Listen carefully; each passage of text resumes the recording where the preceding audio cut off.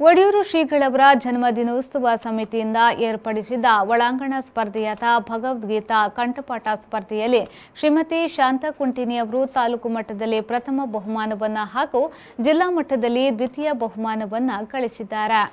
ಪರಮಪೂಜ್ಯ ಶ್ರೀ ಗುರುದೇವಾನಂದ ಸ್ವಾಮೀಜಿ ಒಡಿಯೂರು ಇವರ ಜನ್ಮದಿನೋತ್ಸವ ಗುರುವಂದನೆ ಹಾಗೂ ಶ್ರೀ ಮಾತಾ ಅನ್ನಛತ್ರ ಉದ್ಘಾಟನಾ ಕಾರ್ಯಕ್ರಮದ ಸಮಾರಂಭದ ಸಂದರ್ಭದಲ್ಲಿ ಒಡಿಯೂರಿನ ಶ್ರೀಗಳವರ ದಿವ್ಯ ಹಸ್ತದಿಂದ ಗಣ್ಯರ ಸಮ್ಮುಖದಲ್ಲಿ ಶಾಂತಾ ಕುಂಟಿನಿ ಅವರು ಬಹುಮಾನವನ್ನ ಸ್ವೀಕರಿಸಿದ್ರು.